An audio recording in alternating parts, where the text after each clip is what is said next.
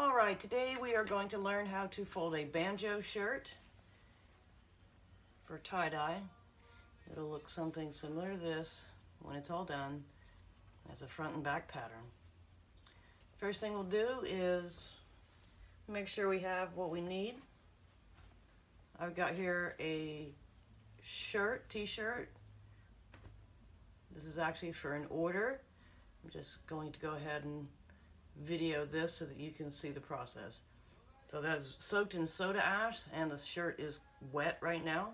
I just wring it out in the washing machine. I turn my cold water off and I turn it to a cold cold and I spin it out not all the way but to where it's spinning pretty fast so it's still damp but not sopping wet and you didn't wring it out so there's no stretch in other places in the shirt. So there's that.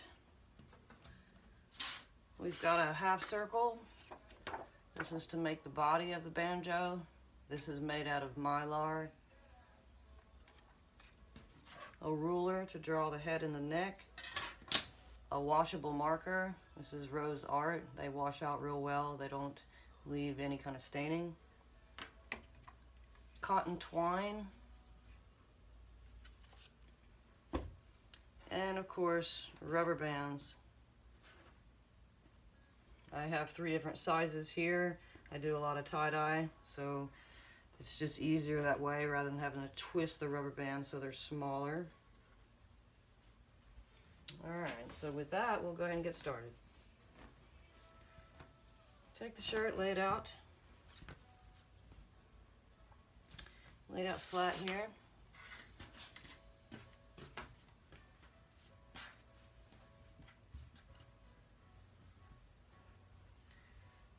Find the point about halfway in between the neckline and the shoulder seam. I've actually had drawn a line earlier, but I went ahead and just marked it off. And then find a place down at the bottom hem. I'd come in about seven inches or so off that edge, seven to eight inches, to allow for that part of the banjo. Okay, then you grab both those points and bring the shirt up and kind of just shake it down, I say and then just flop it down on the table. What you want to make sure of is that nothing is buckled up.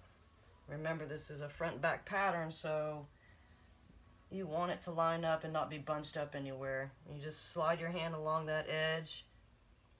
You know, if you feel that the other side's a little far back, you can just take the top layer and pull it back a little bit and usually get there. So that's that. Go ahead and draw the headstock on. On an adult shirt, I usually do the head about four inches. Go ahead and draw that in. And I go ahead and draw the, the body. And I just kind of eyeball it, you know, and just eyeball and see where I think the length of the neck would look good. And draw that in.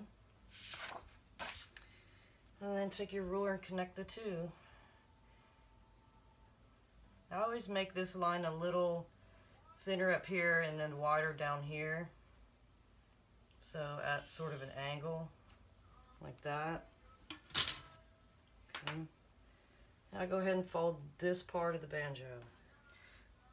I try to make these what I call low folds, not real thick. Because this is going to be a little fine line that goes around here and you don't want it to go really wide. So the thinner or lower the fold, the cleaner the line is going to be when you dye it. Okay, so you got that. We go ahead and tie that section off using the cotton twine. I don't use rubber bands to fold the patterns themselves. I just feel like you're not going to get the detail if detail is what you want. Alright, so I tie right along that line, kind of get that real kind of snug there, not so tight that you're going to break the string. Cut that off there. Okay, now we're going to fold the head stock and the neck. Just It's going to be one fold, so you just start right at the top and just fold along the line that you've drawn. turn the corners. Again, you want to keep those low folds so that you can get a nice line around there and it doesn't bleed out real bad on you. Okay, you fold that up to about where you tied off the bottom part. Bring all that back. Tie that off right along that line. Try to get it, you know, right on as well on the line as you can. Just gonna make it easier to dye it. Snip that off.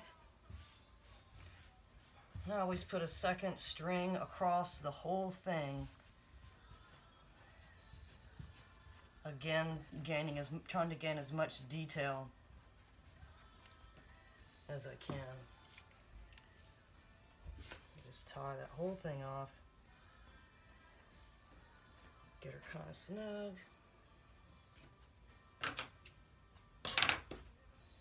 Okay.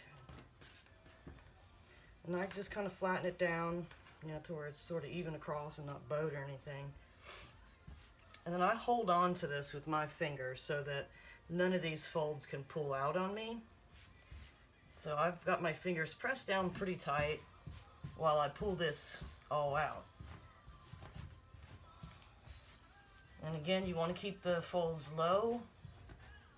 It's going to be easier for the dye to, to get through there, to go down Otherwise, it's going to try to go out on you.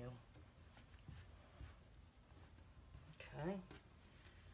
We start with a rubber band. Start with a smaller one up here. It's not as wide as this part of the shirt. And I'm constantly fixing these folds as I put rubber bands on. Just so that I can have some uniformity going down the shirt. I'm using a bigger rubber band here. On this whole section, I'll, that's what I'll use, is the green ones.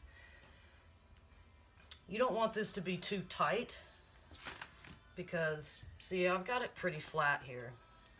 You don't want it to be too tight because when you pick it up, it's going to bow, and that's going to be a nightmare. But you don't want it to be too rounded because you'll end up with a lot of white right there. A lot of times when I've got a piece here that's fairly, you know, thin in width, I'll just get me some nice clean folds going on there, and then I'll just bring it around. Run it into the rubber band, just like that. And I've gone back to the blue rubber bands. This is a thinner part. there you have it. That's the folded banjo. How well you can see that. Head, neck, body. There's the other side. We'll dye it next.